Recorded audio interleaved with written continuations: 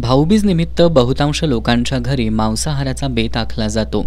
त्यातच आज रविवार आल्यानं आज सकाळपासूनच कोल्हापुरातील अनेक ठिकाणी मटण आणि चिकन खरेदीसाठी नागरिकांची झुंबड उडाली होती. मटण चिकन आणि मासे खरेदी करण्यासाठी कोल्हापुरातील खवय्यांनी मटण मार्केटसह इतर ठिकाणी आणि उपनगरातही मोठ्या प्रमाणात गर्दी केली होती.